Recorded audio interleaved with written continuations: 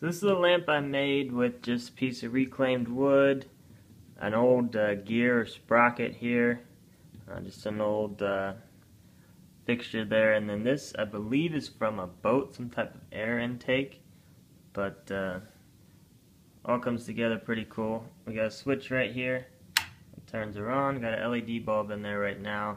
Depending on what bulb you put in there, you can get a decent amount of brightness. Um, right now it doesn't put out a, a, ton of light, but makes a great kind of accent accent light on a desk or something like that. Um, to change the bulb, you would have to, there's some nuts on the bottom, you'll take those out and you can lift that whole part up. Um, underneath, it looks a little crude, but gets the job done. It's got nuts and bolts kind of for the feet, get it off the ground a little bit. Uh, just a piece of copper covering up the uh, we're wired in the switch and it does have a brand new uh, cloth cord on it. Um, so overall pretty cool lamp. Uh, let me know if you got any questions about it.